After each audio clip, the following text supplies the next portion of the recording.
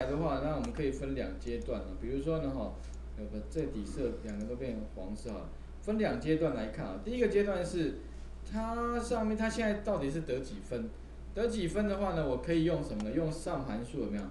上加总。那加总的话呢，我可以加总哦。第一个把这个范围加总，对不对？然后特别注意哦，其实哦，上函数哦，以往都是一个范围加总，对不对？那如果你要两个范围加总，可不可以？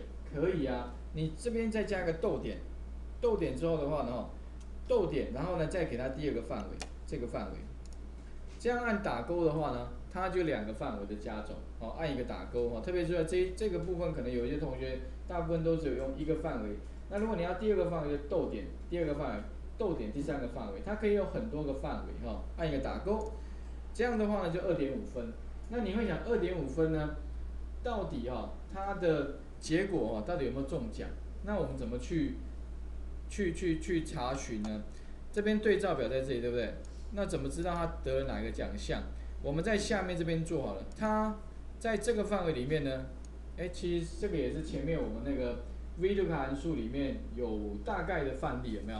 那做法上第一个就是说呢，先利用那个什么呢，VLOOK 函数，所以全部里面找到一个 VL。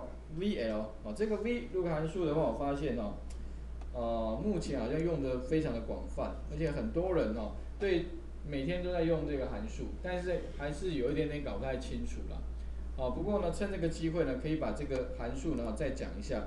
确定之后的话呢，接下来呢，它会有几个要让你填的。第一个呢，lookup value，这个就是说你要查询的值在哪里呢？就是它。